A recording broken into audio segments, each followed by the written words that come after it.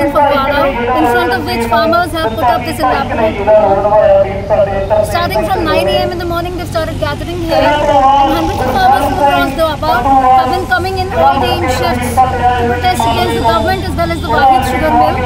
They say 72 crores of their dues remain pending with the mill, the owner of which has fled abroad, and they are now demanding the government, demanding from the government that their dues be, be cleared.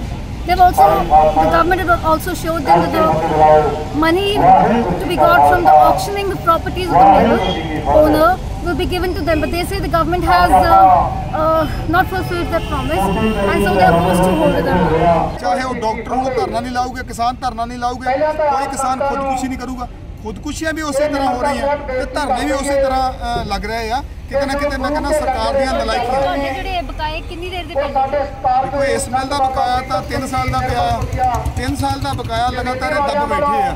ਔਰ ਦੇਖੋ ਕੋਈ ਵੀ ਜਿਹੜਾ ਸਰਕਾਰੀ ਅਧਿਕਾਰੀ ਹੈ ਜਾਂ ਕੋਈ ਮੁਲਾਜ਼ਮ ਆ ਉਹਨਾਂ ਨੂੰ ਤਾਂ ਮਹੀਨੇ ਬਾਅਦ ਤਨਖਾਹ ਆ ਜਾਂਦੀ ਆ। ਪਰ ਕਿਸਾਨ ਦੇ 3 ਸਾਲ ਦੇ ਪੈਸੇ ਦੱਬਿਓ ਫਿਰ ਕੀ ਕਿੱਧਰ ਨੂੰ ਜਾਊਗਾ? ਉਹਨਾਂ ਨੇ ਲਿਮਟਾਂ ਚੱਕੀਆਂ ਹੋਈਆਂ ਤੇ ਵਿਆਜ ਤੇ ਵਿਆਜ ਪਈ ਜਾਂਦਾ। ਕਿਸਾਨ ਖੁਦਕੁਸ਼ੀ ਨਹੀਂ ਕਰੂਗਾ ਤਾਂ ਕੀ ਕਰੂਗਾ ਇਸ ਧਰਨੇ 'ਚ ਇਸ ਮੁੱਦੇ ਤੋਂ ਇਲਾਵਾ ਕੋਈ ਹੋਰ ਵੀ ਤੁਹਾਡੀ ਮੰਗ ਹੈਗੀ? ਇਹ ਇਸ ਤੇ ਧਰਨਾ ਇਸੇ ਮੁੱਦੇ ਤੇ ਲੱਗਾ ਇਹ ਸਿਰਫ ਇਸੇ ਮੁੱਦੇ ਤੇ ਧਰਨਾ ਲਾਇਆ ਕਿ ਇਸ ਜਿਹੜੀ ਵਾਹਿਦ ਮਿਲ ਆ ਔਰ ਇਹਨੂੰ ਜਿਹੜਾ ਚਲਾਇਆ ਜਾਵੇ ਸਮੇਂ ਸਿਰ ਇਹਦੀ ਰਿਪੇਅਰ ਕੀਤੀ ਜਾਵੇ, ਕਿਉਂਕਿ ਇਹ ਹੁਣ 4-5 ਮਹੀਨੇ ਤਾਂ ਰਿਪੇਅਰ ਨੂੰ ਲੱਗ ਜਾਂਦੇ ਆ। ਮਾਲਕ ਵਿਦੇਸ਼ ਦੇ ਵਿੱਚ ਦੌੜ ਗਏ ਆ ਔਰ ਇਹਨਾਂ ਦੀ ਪ੍ਰਾਈਵੇਟ ਜਿਹੜੀ ਪ੍ਰਾਪਰਟੀ ਸੀ ਮਾਲਕਾਂ ਦੀ, ਉਹ ਸਰਕਾਰ ਦੇ ਨਾਲ ਜਦੋਂ ਮੀਟਿੰਗ ਹੋਈ ਸੀ, ਉਸ ਵੇਲੇ ਫੈਸਲਾ ਹੋਇਆ ਸੀ ਕਿ ਉਹਨੂੰ ਕੁਰਕ ਕਰਕੇ ਜਿਹੜਾ ਕਿਸਾਨਾਂ ਦੇ ਖਾਤੇ 'ਚ ਪੈਸੇ ਪਾ ਦਾਂਗੇ। ਜਿਸ ਤਰ੍ਹਾਂ ਮੈਂ ਤੁਹਾਨੂੰ ਦੱਸਿਆ ਵੀ ਹੁਣ ਕਹਿੰਦੇ ਨਿਲਾਮੀ ਕਰਾਉਣੀ ਹੈ ਸੋ ਇਸੇ ਮਿਲ ਦਾ ਮਸਲਾ ਆ ਔਰ ਇਸ ਮਿਲ ਨੂੰ ਚਲਾਉਣਾ ਵੀ ਆ ਤੇ ਪੇਮੈਂਟ ਵੀ ਰੁਪਏ ਲੈਣੀ ਆ ਸੋ ਇਹ ਕਰਨਾ ਇਸੇ ਵਾਸਤੇ ਹੋਈ ਦੇਖੋ ਨਿਲਾਮੀ ਕੀ ਕਰਾਉਗੇ ਜਦੋਂ ਸੌਦਾ ਹੀ ਹੋ ਗਿਆ। ਜਦੋਂ ਜਿਹਨੇ ਸੌਦਾ ਕੀਤਾ ਵਪਾਰੀ ਨੇ। ਜਿਹੜਾ ਉਹਨੇ 6 ਕਰੋੜ ਰੁਪਈਆ ਸਰਕਾਰ ਨੂੰ ਦੇ ਦਿੱਤਾ। ਔਰ ਇਕਰਾਰਨਾਮਾ ਲਿਖ ਲਿਆ। ਤੁਸੀਂ ਨਿਲਾਮੀ ਕਿੱਦਾਂ ਕਰਾ ਸਕਦੇ? ਜੇ ਨਿਲਾਮੀ ਕਰਾਓਗੇ ਉਹ ਪਾਰਟੀ ਸਿੱਧੀ ਹਾਈ ਕੋਰਟ ਜਾਊਗੀ। ਜਦੋਂ ਹਾਈ ਕੋਰਟ ਚੱਲ ਗਿਆ ਫਿਰ ਕੇਸ ਚੱਲੂਗਾ। ਜੇ ਕੇਸ ਚੱਲਿਆ ਤੇ ਜਿਹੜੇ ਪੈਸੇ ਆ ਜਿੱਥੇ 3 ਸਾਲਾਂ ਦੇ ਉਹ ਸਾਲ ਹੋਰ ਲੱਗੂਗਾ। ਇਹ ਚਿੰਤਾ ਆ ਸਾਨੂੰ ਹੋਰ ਕੋਈ ਚਿੰਤਾ ਨਹੀਂ। ਮੈਂ ਬਲਵਿੰਦਰ ਸਿੰਘ ਮੱਲੀ ਨਗਲ ਸੂਬਾ ਪ੍ਰਧਾਨ ਦੁਆਬਾ ਕਿਸਾਨ ਸੰਘਰਸ਼ ਕਮੇਟੀ। ਜੇ ਤੁਸੀਂ ਇਹ ਗੱਲ ਕੀਤੀ ਅੱਜ ਹੈ ਇੱਥੇ ਫਗਵਾੜੇ ਦੇ ਵਿੱਚ ਜਿਹੜਾ ਫਗਵਾੜਾ ਸ਼ੂਗਰ ਮਿਲ ਦਾ 72 ਕਰੋੜ ਰੁਪਈਆ 3 ਸਾਲ ਤੋਂ ਪੇਮੈਂਟ ਰੁਕੀ ਹੋਈ ਆ ਮਿਲ ਦੇ ਕਿਸਾਨਾਂ ਦੀ। ਉਹਦੇ ਸੰਬੰਧ ਦੇ ਵਿੱਚ ਜਿਹੜਾ ਇਹ ਵੱਡੇ ਲੈਵਲ ਤੇ ਇੱਥੇ ਧਰਨਾ ਲਾਇਆ ਗਿਆ ਜਿਹੜਾ ਕਿ ਅਣਮਿੱਥੇ ਸਮੇਂ ਲਈ ਤੇ ਦੂਸਰੀ ਗੱਲ ਕਿੰਨੇ ਕਿਸਾਨ ਇੱਥੇ ਇਕੱਠੇ ਹੋਏ ਨੇ? ਜਿਹੜੀ ਪੇਮੈਂਟ ਹੈ ਉਹ ਲਗਭਗ 23 ਤੋਂ 2400 ਕਿਸਾਨ ਦੀ ਆ ਔਰ 3 ਸਾਲ ਦੀ ਹੈ 19 20 ਦੀ ਪੇਮੈਂਟ ਜਿਹੜੀ ਆ ਉਹ 30 ਕਰੋੜ ਰੁਪਈਆ ਇਸ ਲਈ ਬੈਲੈਂਸ ਪਈ 20 21 ਦੀ ਜਿਹੜੀ ਉਹ 7 ਕਰੋੜ ਰੁਪਈਆ ਬੈਲੈਂਸ ਪਈ ਆ। 21 22 ਦੀ ਜਿਹੜੀ ਉਹ 35 ਕਰੋੜ ਰੁਪਈਆ ਜਿਹੜੀ ਪੇਮੈਂਟ ਆ ਉਹ ਇੱਥੇ ਦੀ ਬੈਲੈਂਸ ਪਈ ਆ।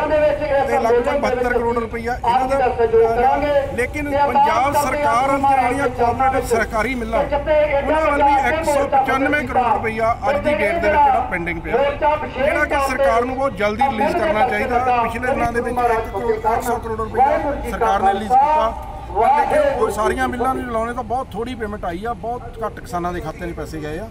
ਜਿਹੜਾ ਕਿ ਕਿਸਾਨਾਂ ਦੇ ਖਾਤੇ ਵੀ ਪੂਰੇ ਨਹੀਂ ਹੋ ਰਹੇ। ਇਸ ਕਰਕੇ ਅਸੀਂ ਸਰਕਾਰ ਨੂੰ ਅਪੀਲ ਕਰਦੇ ਆ ਕਿ ਜਿਹੜਾ ਸਰਕਾਰੀ ਪੇਮੈਂਟ ਆ ਉਹ ਵੀ ਜਲਦੀ ਤੋਂ ਜਲਦੀ ਪਾਈ ਜਾਵੇ। ਪਲੱਸ ਜਿਹੜੀ ਆ 72 ਕਰੋੜ ਦੀ ਪੇਮੈਂਟ ਆ, ਇਹ ਸਰਕਾਰ ਆਪਣੇ ਤੌਰ ਤੇ ਮਿਲ ਨੂੰ ਆਪਣੇ ਕਬਜ਼ੇ ਵਿੱਚ ਲਵੇ ਜਾਂ ਕੁਝ ਵੀ ਕਰੇ, ਲੇਕਿਨ ਕਿਸਾਨਾਂ ਦਾ ਪੈਸਾ ਜਿਹੜਾ ਉਹ ਕਿਸਾਨਾਂ ਨੂੰ ਦਿੱਤਾ ਜਾਵੇ। ਪਲੱਸ ਇਹ ਸ਼ੂਗਰ ਮਿਲ ਨੂੰ ਇਮੀਡੀਏਟਲੀ ਇਹਦੀ ਮੁਰੰਮਤ ਚਾਲੂ ਕਰਕੇ ਇਹਨੂੰ ਚਲਾਇਆ ਜਾਵੇ, ਕਿਉਂਕਿ ਸ਼ੂਗਰ ਫੈਕਟ ਦਾ ਐਕਟ ਆ। ਕਿਸੇ ਵੀ ਸ਼ੂਗਰ ਮਿਲ ਨੂੰ ਬੰਦ ਕਰਨ ਤੋਂ 3 ਸਾਲ ਪਹਿਲਾਂ ਉਹਦੇ ਬਾਹਰ ਨੋਟਿਸ ਬੋਰਡ ਲਾਉਣੇ ਪੈਂਦੇ ਕਿ ਅਸੀਂ 3 ਸਾਲ ਬਾਅਦ ਮਿਲ ਬੰਦ ਕਰ ਦਿੰਦੇ ਜੇ ਐਮਰਜੈਂਸੀ ਇਦਾਂ ਮਿਲ ਬੰਦ ਹੋਣ ਦਾ ਕਿਸਾਨ ਕਦੇ ਮਿਲ ਬੰਦ ਨਹੀਂ ਹੋਣ ਸਰਕਾਰ ਆਪਣੇ ਕਬਜ਼ੇ 'ਚ ਲੈ ਕੇ ਸ਼ੂਗਰ ਮਿਲ ਦੀ ਜਿਹੜੀ ਸਮੈਲ ਚਲਾਵੇ ਉਸ ਤੋਂ ਬਾਅਦ ਸਰਕਾਰ ਮੁਰੰਮਤ ਕਰਨ ਕੋਸ਼ਿਸ਼ ਕਰੇ। ਸਾਨੂੰ ਉਹ ਨੰਬਰ ਲੇਕਿਨ ਜਿਹੜੀ 72 ਕਰੋੜ ਰੁਪਏ ਦੀ 3 ਸਾਲ ਤੋਂ ਰੁਪਏ ਪੇਮੈਂਟ ਉਹਨੇ ਇਮੀਡੀਏਟਲੀ ਦਵਿੰਦਰ ਸਿੰਘ ਪੰਜਾਬ ਦਾ ਮੋਤੀਆਂ ਦੇ ਖਿਲਾਫ ਸਾਡਾ ਮੋਰਚਾ ਖੁੱਲ ਗਿਆ ਹੈ। ਦੁਆਬਾ ਕਿਸਾਨ ਸੰਘਰਸ਼ ਜਿੰਨਾ ਟਾਈਮ ਸਾਡੇ ਮਸਲੇ ਹੱਲ ਨਹੀਂ ਹੁੰਦੇ ਉਹਨਾਂ ਟਾਈਮ ਅੱਜ ਅਸੀਂ ਇਹ ਮੋਰਚਾ ਨਹੀਂ ਬੰਦ ਹੋਏਗਾ। ਗੋਲਡਨ ਸੰਦਰ ਮਿਲ ਦੇ ਸਾਹਮਣੇ ਹਾਈਵੇ ਉੱਪਰ ਸਾਹਿਬ ਆ ਕੇ ਬਾਤ ਕਰ ਸਮੂਹ ਜਥੇਬੰਦੀਆਂ ਐਸਕੇਐਮ ਦੀਆਂ ਵੱਲੋਂ ਧਰਨਾ ਲਗਾ ਕੇ ਬੈਠੇ ਆ ਇਹ ਧਰਨਾ ਅਸੀਂ ਕੋਈ ਖੁਸ਼ੀ ਨਾਲ ਨਹੀਂ ਲਗਾਇਆ ਕਿਸਾਨ ਮਜਬੂਰ ਹੋ ਕੇ ਸੜਕਾਂ ਤੇ ਆਉਣਾ ਇਸ ਮਿਲ ਵੱਲ ਪ੍ਰਾਈਵੇਟ ਵੱਲ ਸਾਡਾ ਤਿੰਨਾਂ ਸਾਲਾਂ ਦਾ ਖੱਦਰ ਨੂੰ ਪਿਆ ਪਾਇਆ ਰਹਿੰਦਾ।